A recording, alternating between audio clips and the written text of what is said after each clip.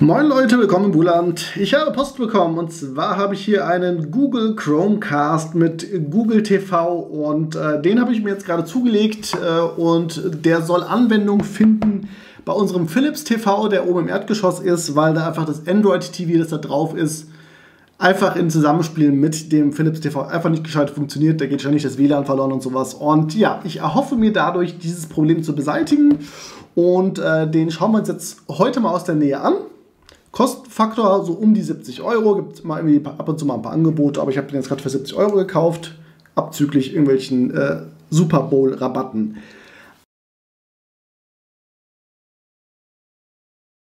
Gucken wir uns vielleicht kurz noch den Inhalt an. Wie gesagt, das ist ein Chromecast, eine Fernbedienung ist dabei und wir haben die üblichen Verdächtigen wie YouTube, Netflix, Prime und Disney Plus. Hier könnte ich eigentlich schon aufhören. Waipu benutze ich noch und der Rest ist eigentlich Schnuppe. So, hey Google, also inklusive natürlich dem Google Assistant, der wird hier auch wieder drauf sein. Einfach anschließen und verbinden. Das wird wahrscheinlich einfach per HDMI angeschlossen, Stromversorgung dran und gut ist.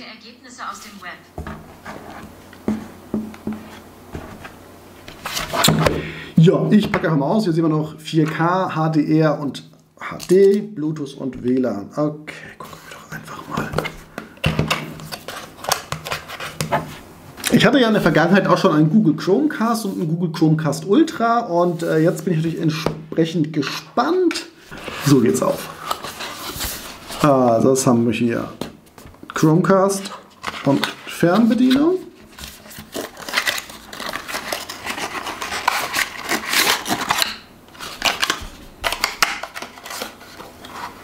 Sonst ist hier nichts mehr drin.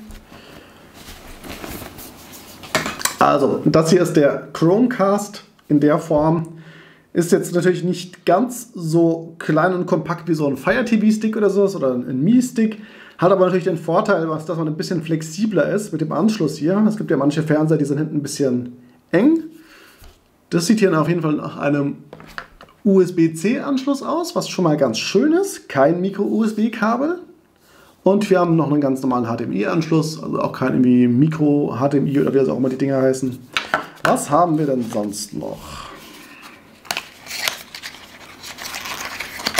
Und Betten dürfen abgeschlossen werden. Haben wir eine Netflix-Taste drauf oder ist nur eine YouTube-Taste drauf? Wer hat am meisten bezahlt? Also, wir haben die Fernbedienung. Hier das Steuerrad inklusive Taste. Das sieht nach der Google Assistant-Taste aus. Home, Mute-Taste, Netflix und YouTube haben wir hier. Dann haben wir noch die An- und Aus-Taste und das ist vermutlich die Source-Taste, um am Fernseher zu switchen auf eine andere Quelle. Das ist zurück. Okay, hier an der Seite sind auch noch zwei Tasten. Das ist wahrscheinlich vor und zurück. Und was sagt das Batteriefach? Ist leer benötigt zwei AAA-Batterien. Okay. Was haben wir sonst noch? Oh, ein Netzteil. Netzteile sind in der heutigen Zeit ja eher Seltenheit. Hier ist ein Los geht's äh, Guide, den wir natürlich nicht lesen werden. Dann haben wir hier noch ein USB-A auf USB-C-Kabel. Okay, das wird dann einfach voraussichtlich für die Stromversorgung benutzt. Ich habe aber hier unter dem Tisch nochmal so ein, so ein Anker-USB Ladeport mit Power Delivery. Mal sehen, ob das ausreichend sein wird. Und hier haben wir noch ein Netzteil. Das ist ganz schön fest. Sag mal. Kindersicherung oder was? Krieg schon wieder Plack bei sowas.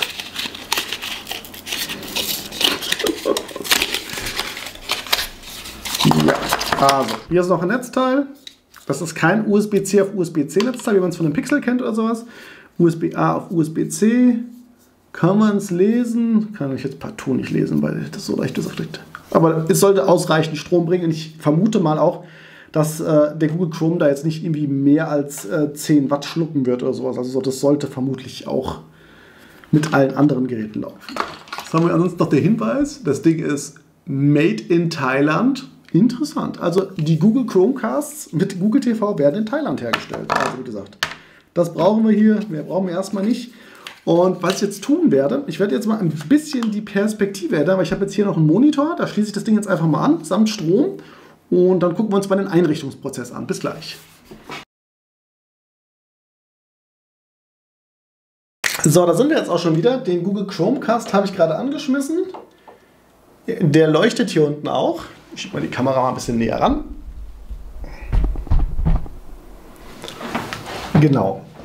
Also, Google Chromecast hängt dran. Habe ich jetzt einfach mit einem USB-C-Ladekabel aufgeladen. Und ähm, ja, wir gucken mal, was uns jetzt erwartet. Fernbedienung wird gleich erkannt. Okay, Deutsch. So, die Google Home App benötigen wir. Also ich äh, zeige euch jetzt mal nicht, was auf der Google Home App ist. Ich mache eigentlich einfach nur weiter, weiter, weiter, weiter. So, und jetzt sind wir in der Google Home App und dann gibt es hier oben Chromecast einrichten. Da drücken wir nämlich drauf. So, nach Gerät wird gesucht. Chromecast wurde gefunden. Ja. So, QR-Code scannen. Ja, bei Benutzung der App zu erlauben. So. So, der QR-Code wurde gescannt, wird verbunden. So, Folge der Anleitung auf der Google Home App steht hier drauf.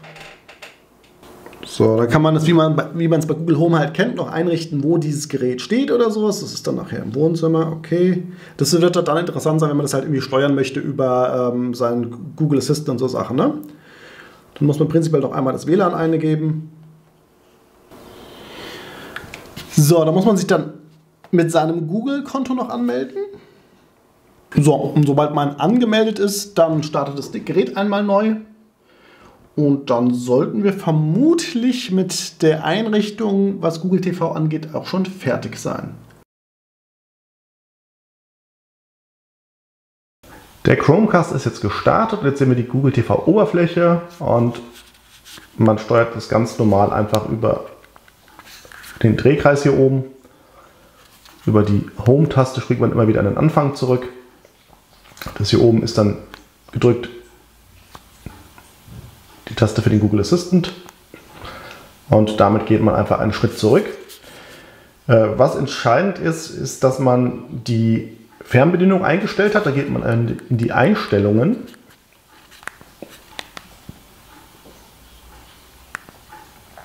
Dann haben wir hier unten den Punkt irgendwann Fernbedienung und Zubehör. Und hier kann man die Fernbedienung einrichten. Und das ist dafür interessant, ob man quasi die Chromecast-Lautstärke benutzt. Dann kann man über die Taste hier muten und unmuten und auch über den Google Assistant entsprechend die Lautstärke einstellen. Oder man macht das automatisch über HDMI CEC. Dann läuft es dann quasi über die Fernbedienung sozusagen ganz normal über den Fernseher.